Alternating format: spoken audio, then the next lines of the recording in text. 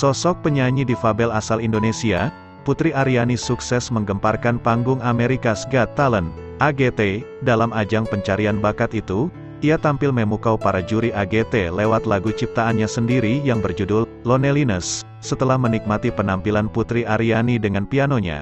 Salah satu juri America's Got Talent Season 18, Joel Simon akhirnya menekan tombol Golden Buzzer.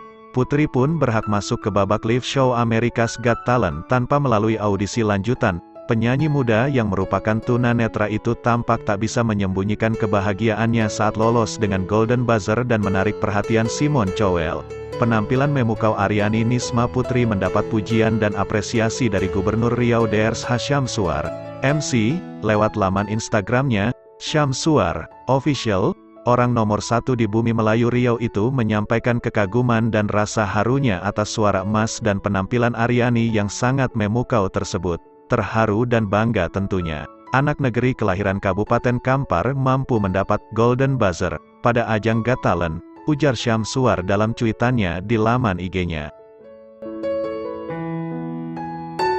Aryani Nisma Putri yang menggunakan nama panggung Putri Aryani lahir di Bangkinang, Kabupaten Kampar, Riau pada tanggal 31 Desember tahun 2005. Putri dari pasangan Ismawan Kurnianto dan Reni Alfianti itu saat ini berdomisili di Yogyakarta bersama kedua orang tuanya. Nama lengkap, Ariana Nisma Putri. Kelahiran, Bangkinang, Kampar, Riau, tahun kelahiran, tanggal 31 Desember tahun 2005. Orang tua, Ismawan Kurnian dan Reni Alfianti. Agama, Islam. Profesi, penyanyi.